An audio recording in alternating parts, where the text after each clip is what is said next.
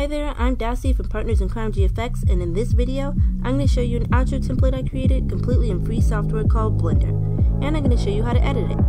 If you don't have Blender, you can download it from the link provided in the description of this video. This template is available on our website along with a bunch of other cool templates, so keep an eye on our website if you want professional graphics and free software.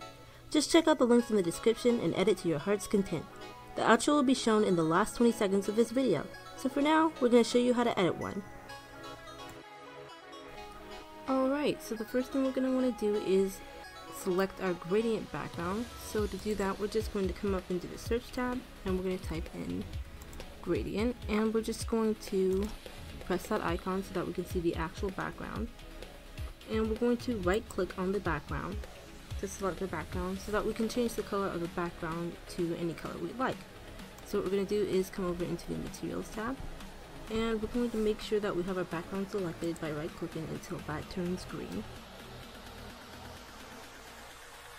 So then we know that we have the background selected.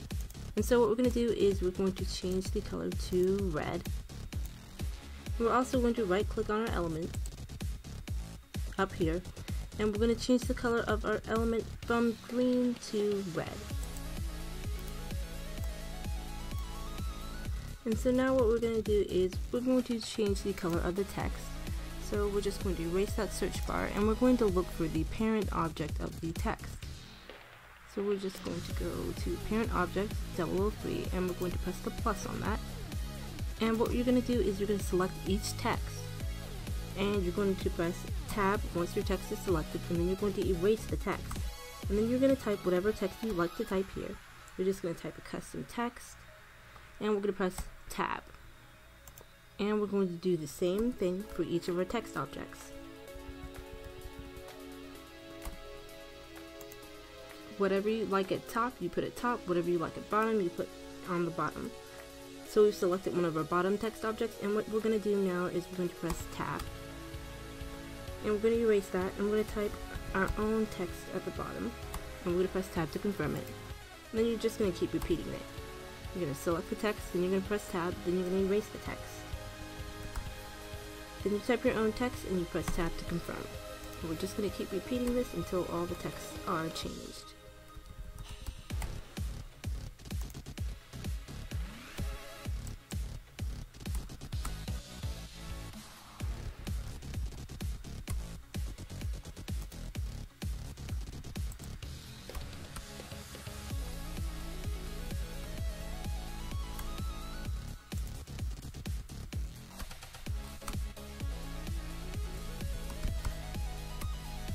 The next thing you're going to want to do is you're going to select the bottom loading bar.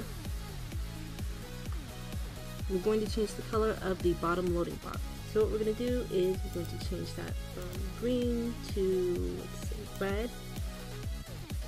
We'll change that to a the orangish red. And we'll change this to orangish red, orangish red as well. And what we're going to do now is we're going to look for our particles. We're going to come over here by holding down shift and dragging the middle mouse button. And we're going to zoom in by scrolling in and we're going to right click on one of our particles.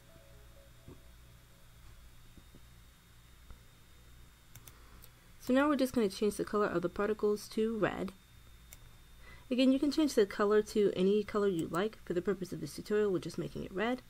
So we're going to right click on our other particle and we're also going to change the color of this particle to red.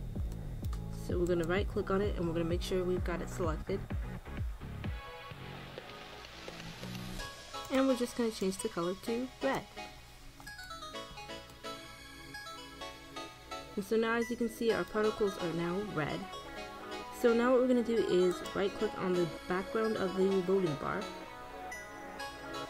and we're going to change the color of this loading bar from green to red.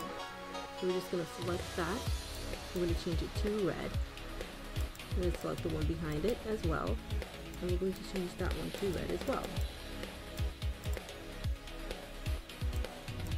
And we're going to select this last one and change it to a brighter red.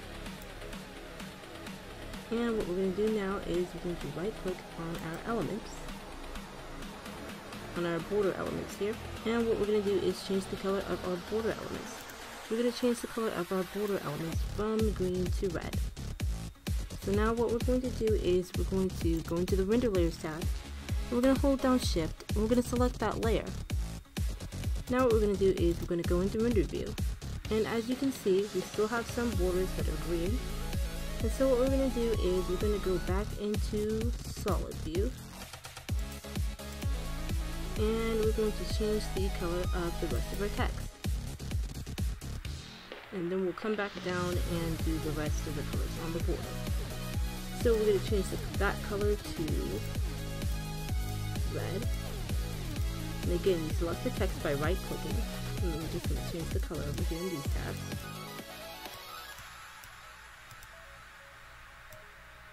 We're just changing them to red.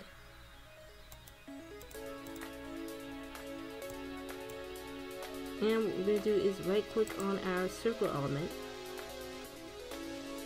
our subscribe circle element, and we're going to change the color of our subscribe circle element as well. So we're just going to change that color from green to red.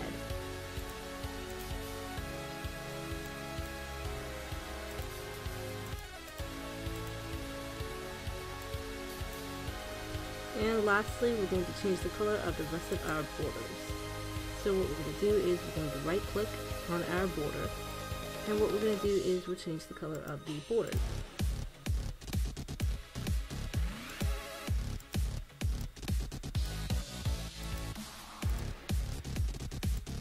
From green to red. And again, you can change the color to any color you like.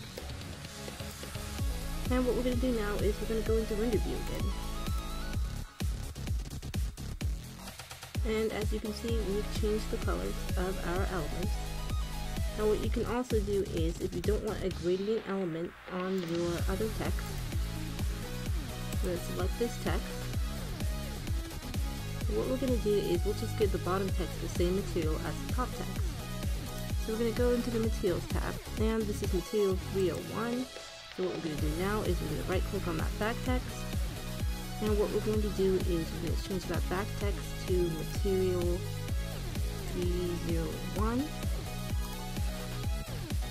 And we're going to go back into render view.